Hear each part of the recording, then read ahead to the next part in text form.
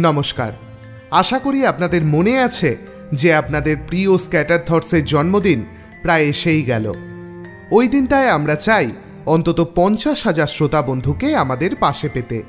তাই আরও একবার অনুরোধ রইল, আমাদের নিবেদন ভালো লাগলে চ্যানেলটি সাবস্ক্রাইব করার। আর হ্যাঁ আমরা খেয়াল করেছি আমাদের কমেন্ট বক্সে আমাদের অনেক শ্রোতা বন্ধু গল্প সংক্রান্ত বেশ কিছু সাজেশন দিয়েছেন। আপনারা যদি অনুগ্রহ করে সেগুলি আমাদের ফেসবুক গ্রুপেও দেন, তাহলে আমাদের ভারী সুবিধা হয়। সেই সঙ্গে আমাদের গল্পের রিভিউ দিতে পারেন ওই গ্রুপে। গ্রুপের লিংক আপনারা পেয়ে যাবেন আমাদের যে কোনো গল্পের ডেসক্রিপশন বক্সে আচ্ছা তবে এবার আজকের গল্পে আসা যাক। বেশ কিছুদিন আগে মোবাইল নামে একটি সামাজিক গল্প শুনিয়েছিলাম আপনাদের। মনে আছে? আপনাদের থেকে আমরা প্রশংসাও পেয়েছি গল্পটার জন্য। মোবাইলের লেখিকা পূর্বাশা কোনার এবার আমাদের হাতে তুলে দিয়েছেন একটি বেশ গা ছমছমে ভৌতিক গল্প। সেই গল্পটিই রইল আমাদের আজকের নিবেদনে। শুরু হচ্ছে পূর্বাশা কোনারের সংশোধন।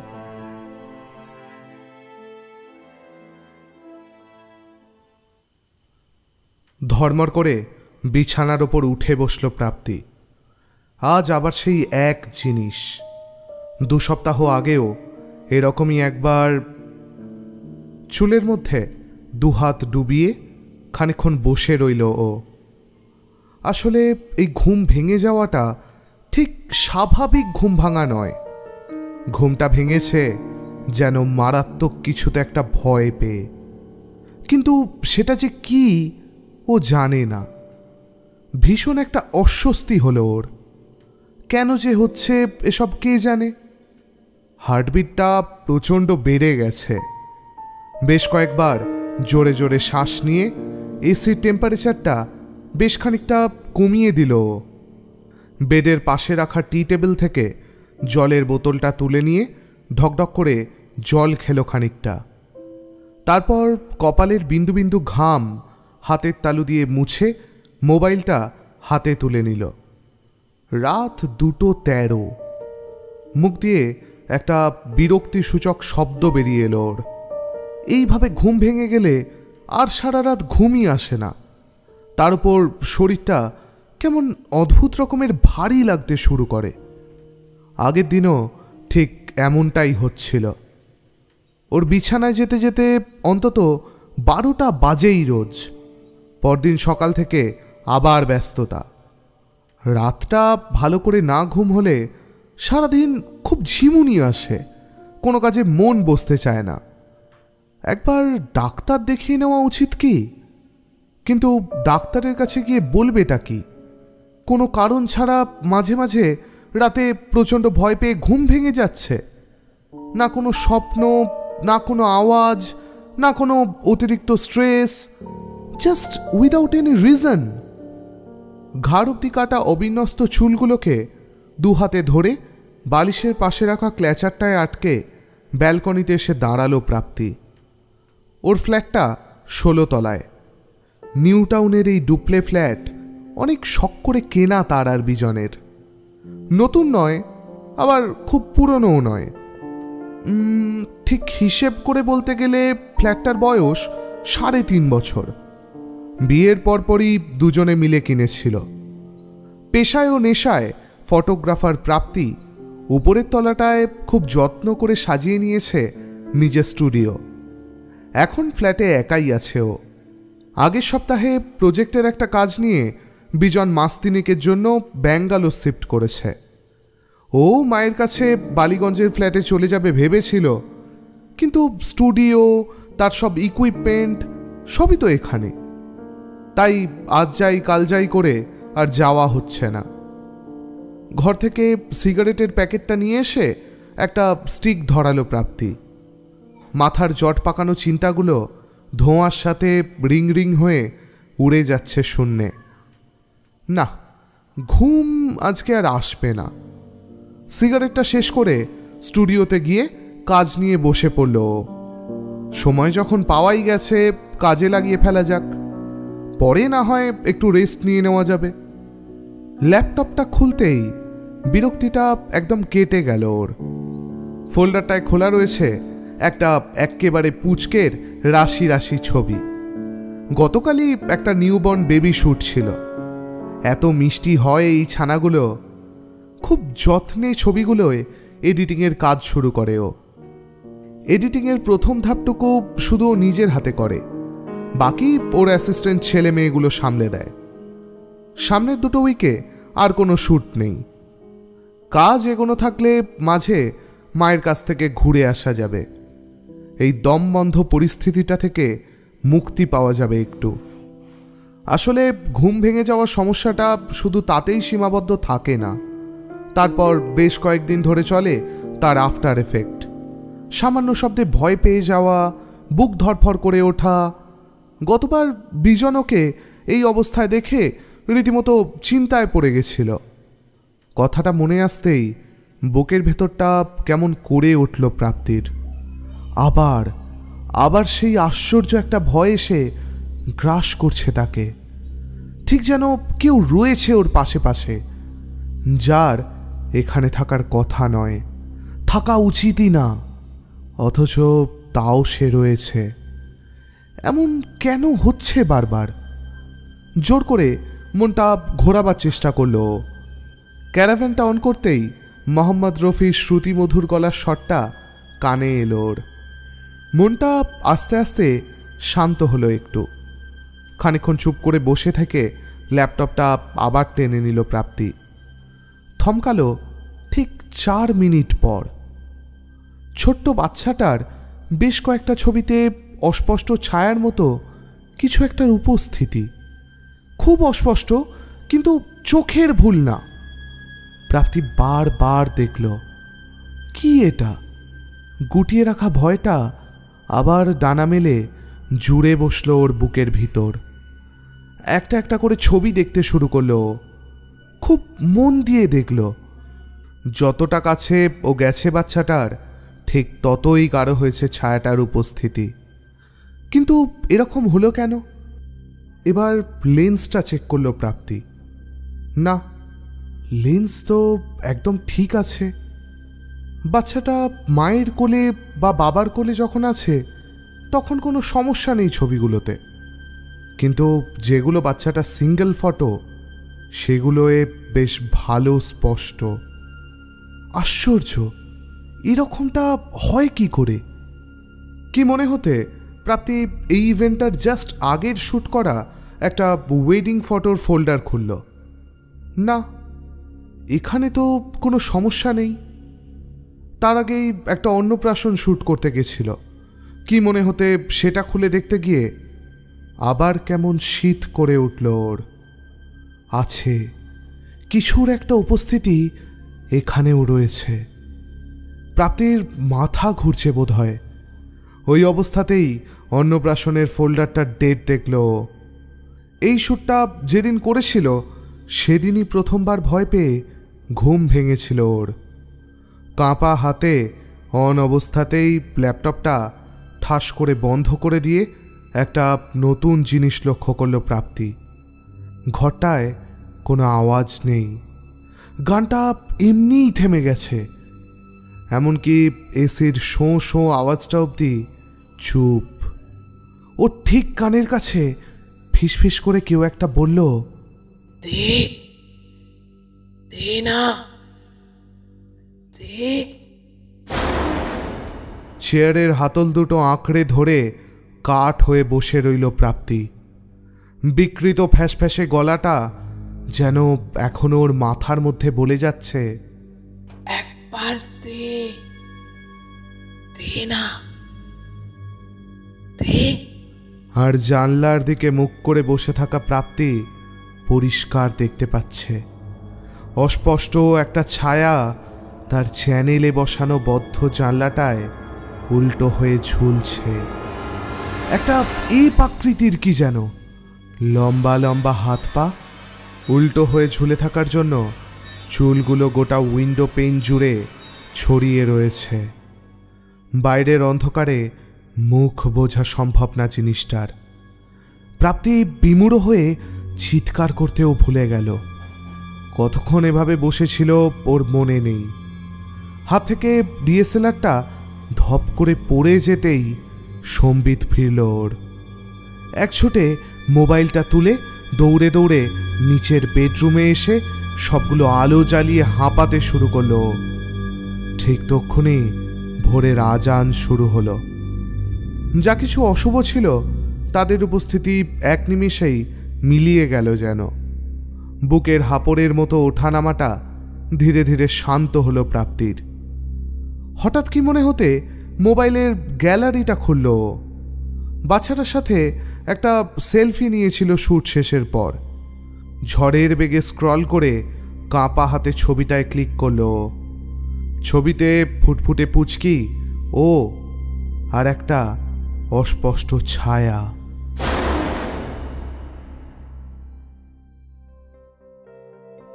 বর্ধমানের রায়না থানার বড় বলরাম গ্রাম। সম্ভ্রান্ত উগ্র ক্ষত্রিয় বংশের ওঙ্কারনাথ কারফার পৈতৃক সম্পত্তি যা আছে, তাতে সাত পুরুষ পায়ের ওপর পা তুলে খেতে পারবে। এমনিতেই বর্ধমানের জমিতে সোনা ফলে। তার উপর পুত্র সরকারি উকিল। অভাব তার বাড়িতে স্পর্শ করতে পারেনি এখনও গ্রামের লোকেরা মান্যগণ্যও করে যথেষ্ট। গ্রামের বিখ্যাত বলরাম মন্দির তাদেরই প্রতিষ্ঠা করা। তার দুই মেয়ে, চারুলতা আর আশালতা। দুজনেরই বিয়ে দিয়েছেন পাল্টি ঘরে। বড় মেয়ে চারুলতা মাস চারেক হলেও বাপের বাড়ি এসছে। সে সন্তান সম্ভবা। মা ষষ্ঠীর কৃপায় ছোট মেয়ে আশালতাও আজ দিন চারেক হলো এসছে একই সুখবর নিয়ে। বাড়িতে একরকম সুখের পাল তুলে দেওয়া নৌকা ভেসে বেড়াচ্ছে। দুই বোনের একই ঘরে থাকার ব্যবস্থা।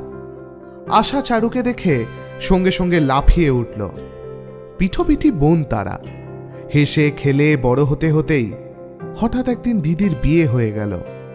তারপরই তার। কতদিন দিদিটার সাথে জমিয়ে গল্প করা হয়নি? এখন সারা রাত গল্প চলে, হাতে অফুরন্ত সময়। দুই বাড়ির আদব কায়দার গল্প, খাওয়া পড়ার নিয়মের গল্প বড়িতে দেওয়া সোহাগী উপহারের গল্প আরও কত কি। সারাদিন দুই বোনের কলকলে যেন গোটা বাড়িতে রাশি রাশি আলো জ্বলে উঠল। তারই মধ্যে চারুর কোল আলো করে এলো ফুটফুটে একটা ছেলে। আরও আনন্দ আরও উল্লাস। বাড়ি ভর্তি আত্মীয় স্বজনের শোরগোলে সবাই যখন গোমরামুখ শব্দটাই ভুলতে বসেছে, তখনই কারফা বাড়িতে ঘটল প্রথম অঘটন। হঠাৎ কোন অভিশাপে কে জানে দুদিনের জ্বরে ভুগে চারুলতার সুস্থ সবল ছেলেটা চলে গেল। শোকে পাথর হয়ে গেল চারু। দু দুটো মাস কেটে গেল ওভাবেই। তার অবস্থার কোনো উন্নতি হলো না। সে নায় না, খায় না, শুধু চুপি চুপি এ ঘর ও ঘর করে বেড়ায়। কি যেন খোঁজে। কেউ কিছু জিজ্ঞেস করলে উত্তর না দিয়ে চুপচাপ নিজের ঘরে চলে আসে। আগে ঝড়ের মতো সময় কাটছিল আনন্দে, এখন কাটে এই দুটি মেয়ের জন্য দুশ্চিন্তায়। একজনকে শত চেষ্টা করেও আরাম দেওয়া যায় না, অন্যজনকে নিয়ে ভয় হয়। যদি তারও দিদির মতো আসার সব দায়িত্ব তার মা নিয়েছিল। এক মুহূর্তের জন্য তাকে চোখের আড়াল করেন না। তাকে বুকে আগলেই বড় মেয়ের জন্য কাঁদেন। বাড়িতে সবাই কেমন যেন যন্ত্রবৎ হয়ে উঠেছে। ঠিক এই সময়ে সকলের ক্ষত একটু প্রলেপ দিতেই যেন অন্ধকার বাড়িটার কোণে পিদিম জ্বালিয়ে আশালতার কোল আলো করে লক্ষ্মী এলো।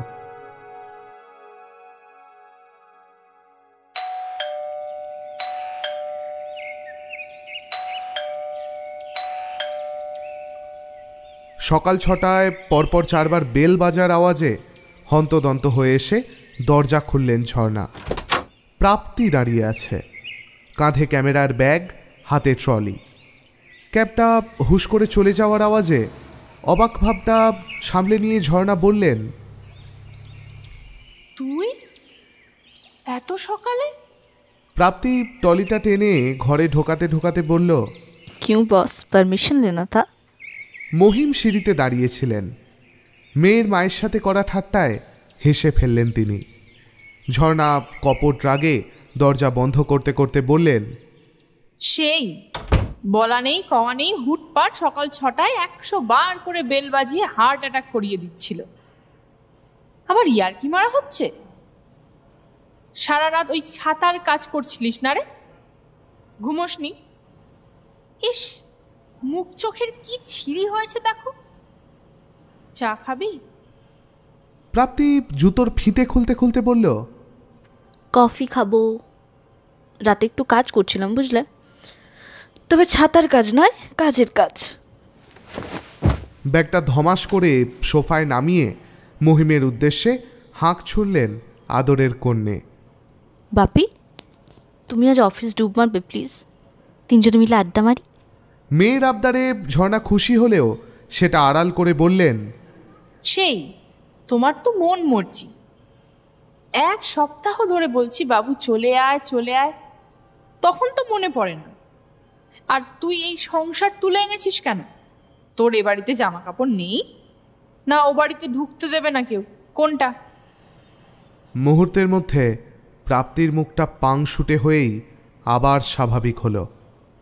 সন্তর্পণে এড়িয়ে গেল ও কথাটা। এমনি মা থাক না। বালিগঞ্জের বাড়িতে নিজের ঘরে রেস্ট নিচ্ছিল প্রাপ্তি। দুপুরে ঘুমিয়েছে অনেকক্ষণ। মায়ের কাছে আসার অ্যাডভান্টেজ তাও ভীষণ টায়ার্ড লাগছে গত দু তিন সপ্তাহ ধরে। আসলে ঘুমের সময়টায় ঘুম না হলে হঠাৎ রকিং চেয়ারটা থেকে লাফিয়ে উঠে দাঁড়াল প্রাপ্তি।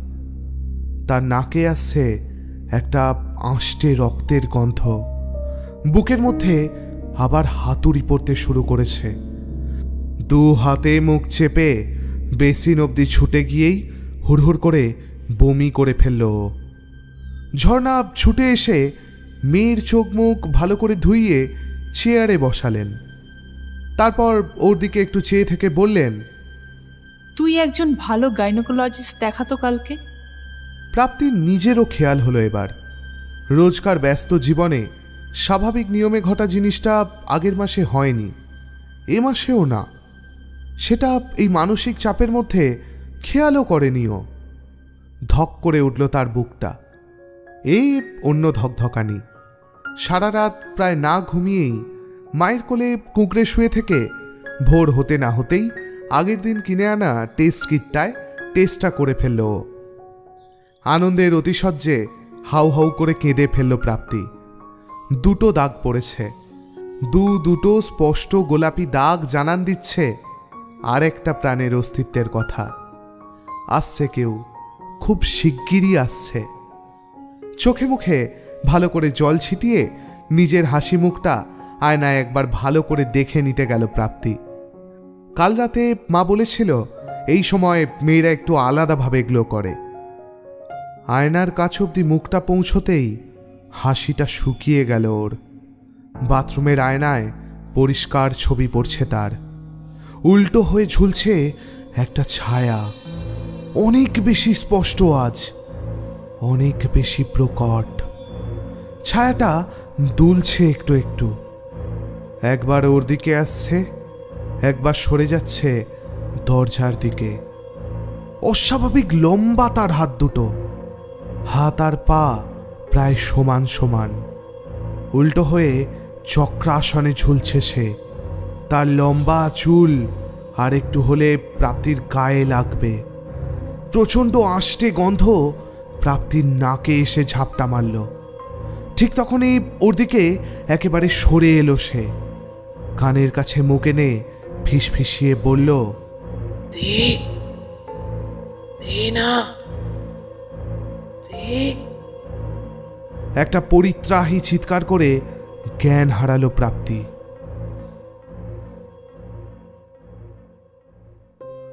আশালতার আঁতুর কাটবার পর কারফাগিন্নি খুকিকে নিয়ে আবার তার দিদির ঘরেই থাকার ব্যবস্থা করলেন।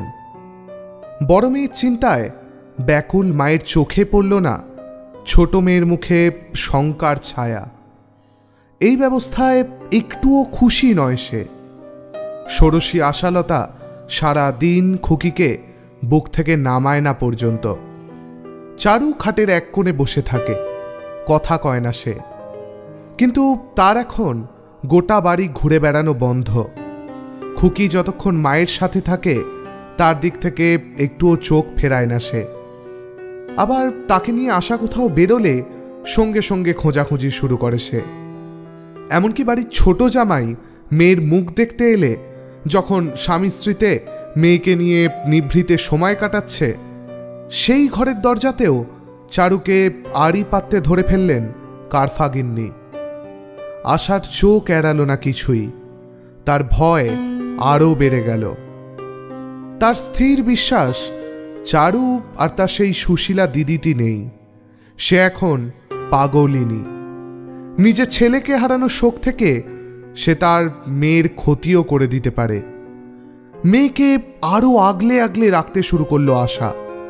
আর মেয়ের বয়স যেদিন এক মাস তেরো দিন, চারু যেন সব আশা ছেড়ে দিয়ে নিজেই আবার কথা বলে উঠল। দুহাত বাড়িয়ে বোনের দিকে একটি কাতর অনুরোধ করল। দে দে না একবার দে। আশালতা আঁতকে উঠে পুঁটলির মতো কাঁথা জড়ানো মেয়েকে সবলে বুকে জড়িয়ে ধরলেন। চারু এগিয়ে গেল বোনের আরও কাছে। আরেকটিবার বলল দে দে না দে। বাড়ির মেয়েরা সকলে ছুটে এলেন। সকলের শত অনুরোধ শত শাসনেও তলানো গেল না আশাকে। মেয়েকে কিছুতেই দিদির হাতে দেবে না সে, মরে গেলেও না। আর কিছু না বলে আস্তে আস্তে চলে গেল চারু। সেদিন রাতে কারফা বাড়িতে দ্বিতীয় অঘটন ঘটল। গভীর রাতে সবার চোখের আড়ালে চারতলার ছাদ থেকে ঝাঁপ দিয়ে আত্মহত্যা করল চারুলতা মেয়েটার শরীরটা যখন পাওয়া গেল সবাই দেখল তার দুটো হাত জয়েন্ট থেকে খুলে এসে পায়ের সামনে লম্বা হয়ে রয়েছে। লম্বা চুলের অযত্নে বাঁধা হাত খোঁপা খুলে চুলগুলো এলিয়ে পড়ে পথের ধারে। মাথাটা একশো আশি ডিগ্রি ঘুরে চুল সামনে, মুখ পিছনে চলে গিয়েছে। এক মেয়ের মৃত্যুশোকে কাঁদার সময়টুকুও পেলেন না কারফাবাড়ির সকলে। ততক্ষণে জ্ঞান হারিয়ে পড়ে গিয়েছে সদ্য মা হওয়া আশালতা। তার আদরের ধন কন্যে ধুলোয় লুটোচ্ছে। তার জ্ঞান যখন ফিরল, তখন মনে হলো আশালতা যেন কোথাও হারিয়ে গিয়েছে। এমন শূন্য দৃষ্টিতে ফ্যাল ফ্যাল করে চেয়ে থাকা মেয়েকে তো এবাড়ির কেউ চেনে না। তবে তাতেও রেহাই মিলল না। চারুকে সবাই ভালোবাসত। বাড়ি শুদ্ধ সকলের সমস্ত ক্ষোভ, শোক একের পর এক দোষারোপ হয়ে ধেয়ে আসতে লাগল তার দিকে। সে সব শোনে, শুনে চমকে ওঠে, কিন্তু কোনো উত্তর দেয় না। শুধু হঠাৎ প্রচণ্ড কান্নার দমকে ভেঙে পড়ে আর ভয় পায়, সকলকে ভয় পায়। কোনো কারণ ছাড়াই আতকে আতকে ওঠে সে। নিজের আত্মগ্লানি থেকেই হোক বা বাড়ির লোক তাকে একটু সময় দিতে না চাওয়ার কারণেই। আশা আর সুস্থ হলো না। বাড়ির সকলে একটি বদ্ধ উন্মাদ মেয়ে আর দুটি মৃত মানুষের স্মৃতি আগলে একটি কিচ্ছু না বোঝা মানুষের কচি দাঁতের হাসির আলোটুকুকে সম্বল করে কোনো মতে বেঁচে রইল।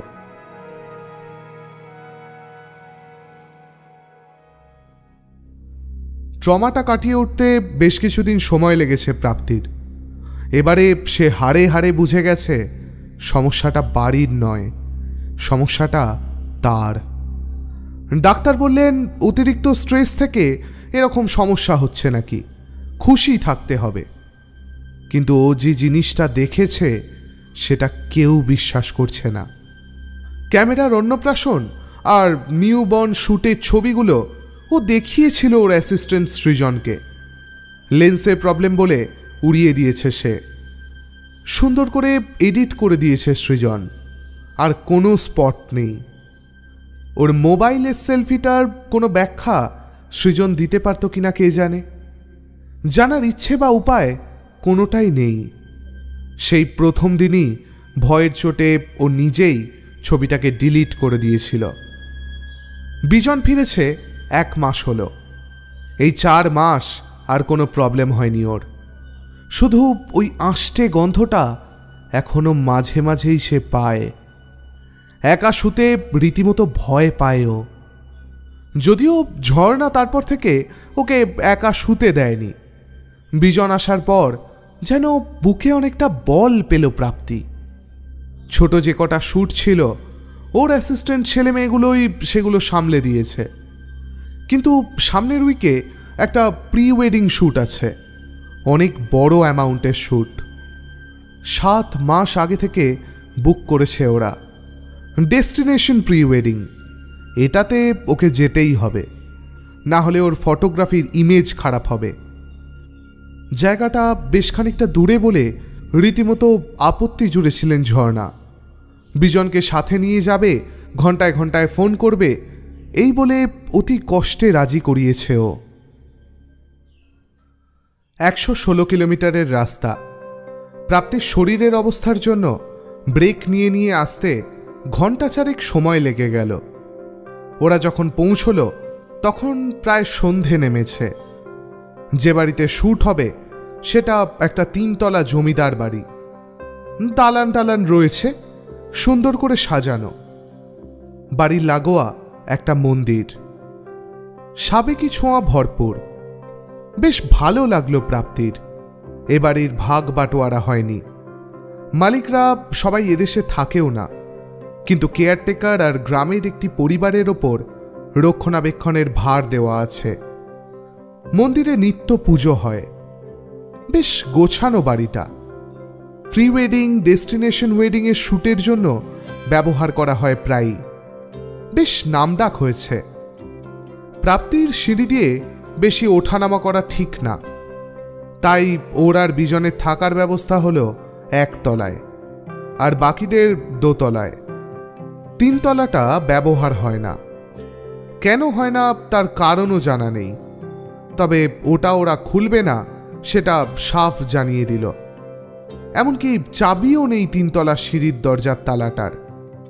টু বি ম্যারেড ছেলে মেয়ে দুটো একটু মনক্ষুণ্ণ হয়েছে। এত দূরে শ্যুটের জন্য এসে পুরো বাড়িটা ব্যবহার করতে পারবে না, সেটা জেনে। প্রাপ্তিরও খারাপ লাগল ওদের জন্য। কিন্তু কি আর করার? মালিকপক্ষ যেমন বলবে, তেমনটাই শুনতে হয় এক্ষেত্রে। রাতের খাওয়া দাওয়া ওরা সাড়ে আটটার মধ্যেই সেরে নিল। কালকে শ্যুটটা করতে হবে। ওরা মোটামুটি গুছিয়ে নিচ্ছিল কোন দিকটায় কি করবে না করবে। একটা ঘর খুলে পালঙ্কে একটা ছোট ক্লিপ নেওয়ার জন্য ডিরেকশন ভাবছিল প্রাপ্তি। হঠাৎ বিজনের একটা আকস্মিক চিৎকারে ও থেমে গেল। কোনো রকমে খাটে স্ট্যান্ডটা ধরলো তাই না হলে পড়ে গিয়ে সর্বনাশ হতে পারত। প্রাপ্তি বিরক্ত হয়ে তাকালো বিজনের দিকে। বিজন অপরাধীর মতো ঢোক গিলে বলল সরি সরি এক্সট্রিমলি সরি ঠিক আছিস তো? একবার এদিকে আয়, দেখে যা। এই মেয়েটাকে পুরো তোর মতো দেখতে। প্রাপ্তিও ছবিটার দিকে তাকিয়ে রীতিমতো চমকে উঠল। হ্যাঁ দূরে শাড়ি গাছকোমর করে পড়ে লম্বা বেনি ঝুলিয়ে যে দাঁড়িয়ে আছে তার বয়স পনেরো কি ষোলো হবে। পাশে আরও একজন প্রায় সমবয়সী। ছোটটির সাথে তার এত মিল যে মেয়েটিকে তারই ছোটবেলা মনে হচ্ছে। প্রাপ্তি মজা করতে, কি বলতে গিয়ে একবার বিজনের দিকে তাকিয়েই একটা আর্তনাদ করে চুপ করে গেল। বিজন একটা অদ্ভুত চোখে তার দিকেই তাকিয়ে। বিভৎস, ক্রূর চাহনি তার। তার মধ্যে যেন আরও কত কি মিশে আছে। প্রাপ্তি এক পা এক পা করে পিছোচ্ছে। ঠিক সেভাবেই বিজন এগিয়ে আসছে ওর দিকে। যেন ইঁদুর বেড়ালের খেলা। হঠাৎ ওর মনে হলো ও আর সরতে পারছে না। পায়ে কি যেন একটা জড়িয়ে গেছে। চুল। এত চুল এলো কোথা থেকে? পুতুলের মতো দাঁড়িয়ে দাঁড়িয়ে প্রাপ্তি বুঝতে পারল ওর পিঠে মারাত্মক নখের খোঁচা লাগছে। কেউ নখ দিয়ে তার পিঠে কিছু একটা লিখছে। তীব্র জ্বালার ভয়ে চিৎকার করার ক্ষমতাটুকুও হারিয়ে ফেলেছে সে। বিজন ওর একদম কাছে অথচ এতটুকু পিছিয়ে যাওয়ার ক্ষমতা নেই ওর। বিজন ঠিক ওর মুখের সামনে এসে দাঁড়াল। তারপর ফ্যাস ফ্যাসে গলায় বলল দে দে না দে। প্রাপ্তি অন্ধের মতো দু হাত পিছনে দিয়ে দেওয়াল খোঁজার চেষ্টা করল। দাঁড়াতে পারছে না সে এভাবে। যে কোনো সময় পড়ে যাবে। বিজন যন্ত্রের মতো একই কথা বলে চলেছে। ওর একটা শক্ত অবলম্বন দরকার। হাত হেঁচড়ে দেওয়াল হাতড়াতে হাতড়াতে একটা কুলুঙ্গিতে কিছু একটা হাতে লাগল প্রাপ্তির। সঙ্গে সঙ্গে কি করে কি হলো জানি না। যেন অবশ হয়ে যাওয়া শরীরটায় একটু বল ফিরে পেল প্রাপ্তি। কোনো দৈব শক্তি যেন নিজের ক্ষমতা ভাগ করে নিলেন ওর সাথে। পাগলের মতো দুহাতে টেনে নিজের এই অসময়ের অবলম্বনকে চোখের সামনে টেনে আনলো প্রাপ্তি। একটা বলরামের মূর্তি। এই বাড়ির বিগ্রহের আদলেই গড়া মূর্তিটা। নিমেষের মধ্যেও বুঝতে পারল পায়ের বাঁধনটা সসর করে সরে যাচ্ছে। ওকে মুক্তি দিচ্ছে বাঁধনটা। বিজনের চোখের ক্রূর দৃষ্টি ভয়ার্ত হয়ে উঠছে। যেমনভাবে এগিয়ে আসছিল, তেমনভাবেই দুপা পিছিয়ে গিয়ে নিস্তেজ হয়ে মাটিতে পড়ে গেল সে। প্রাপ্তি নিজেও আর নিতে পারল না। ওই অবস্থাতেই হাঁটু মুড়ে মাটিতে বসে পড়ে বলরামকে বুকে আঁকড়ে ধরে হাউ হাউ করে কেঁদে ফেলল। কেন? অস্ফুটে নিজেকেই প্রশ্ন করল, নাকি বিগ্রহটাকে? ওর জানা নেই। ফেরার সময় বিজন কুণ্ঠায় একটাও কথা বলতে পারছিল না প্রাপ্তির সাথে।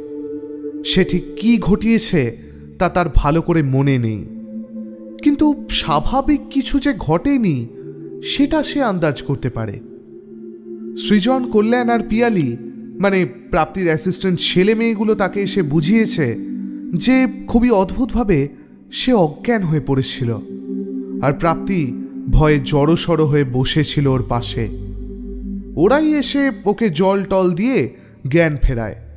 প্রাপ্তিকেও নিয়ে যায় ওখান থেকে। নমনম করে শ্যুট শেষ করে ছেলে মেয়ে দুটো আগেই বেরিয়ে গেছে। ওরা কাজে খুশি হয়েছে এই ঢের। প্রাপ্তি নিজের কাজটা একেবারেই পছন্দ হয়নি। শরীর মনের ওপর এত প্রেশার আরও নিতে পারছে না। আসার সময় সবাইকে লুকিয়ে একটা জিনিসও নিয়ে এসছে। বলা ভালো, চুরি করে এনেছে। একটু আড়াল করে সাইড ব্যাগের চেনটা খুলল।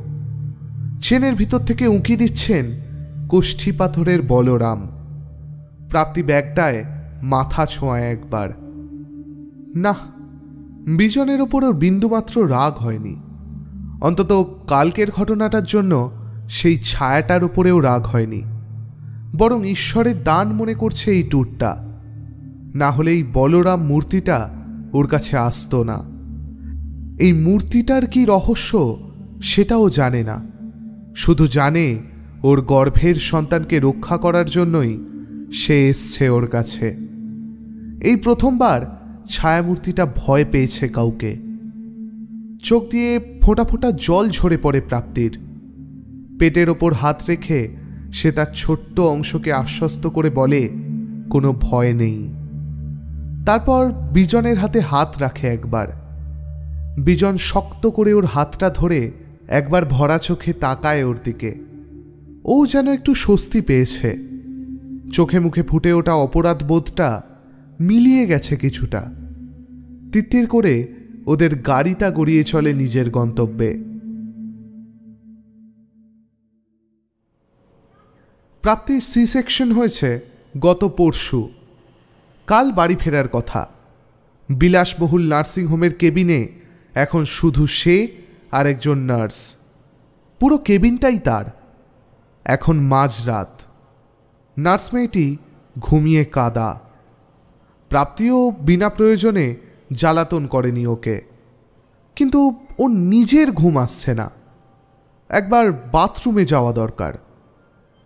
নিজেই যেতে পারবে। একবার মেয়ের কটের দিকে গেল প্রাপ্তি। হালকা নীলচে আলোয় পরম শান্তিতে ঘুমোচ্ছে ফুটফুটে শারদিয়া। ঠোঁটের কোলে একটা ভারী মিষ্টি হাসি। স্বপ্ন দেখছে কি মেয়েটা? ওকে একবার দুচোখ ভরে দেখে নিয়ে প্রাপ্তি ধীরে ধীরে বাথরুমে গেল। বাথরুমের দরজাটা ভেজানো ছিল। ছিটকিনি আটকায়নিও সেই ফাঁকটুকু দিয়েই হঠাৎ ওর মনে হলো, আষ্টে গন্ধটা যেন ভক করে ঢুকলো এসে আবার। কোনো রকমে দরজাটা ঠেলে ঘরে ঢুকে শরীরের রক্ত জল হয়ে গেল ওর। সে সে মেয়ের দোল্লার মাথার কাছে দাঁড়িয়ে সে মুখটা প্রাপ্তির দিকে ঘোরানো। দুহাত প্রাপ্তির দিকে বাড়িয়ে সে দাঁড়িয়ে আছে অষ্টবক্রের মতো। লম্বা চুলের আড়ালে তার মুখ দেখা যায় না একটুও। একটা ফ্যাস ফ্যাসে গলা ভেসে এলো চুলের আড়াল থেকে।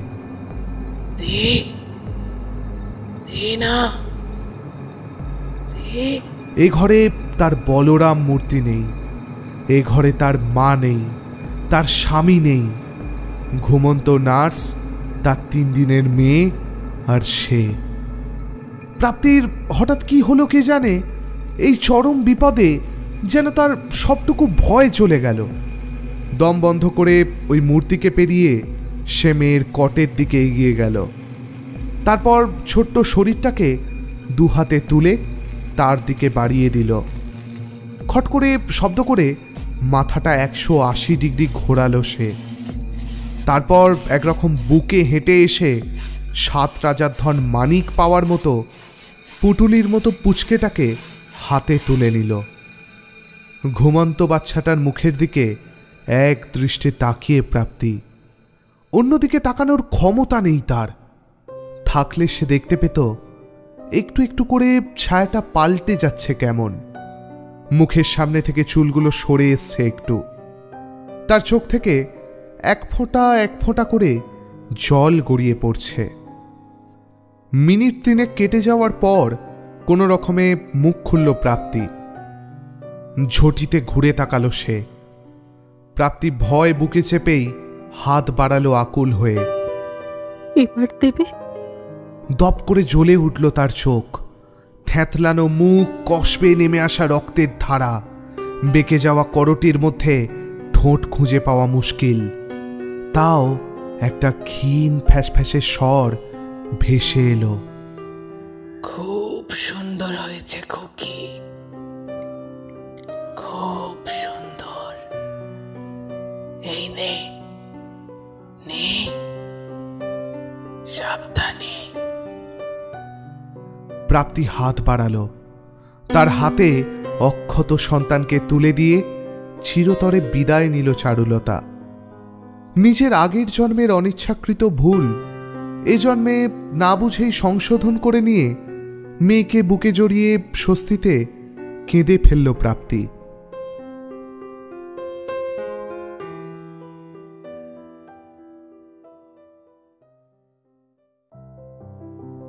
শেষ হলো আমাদের আজকের গল্প, পূর্বাশা কোনারের সংশোধন।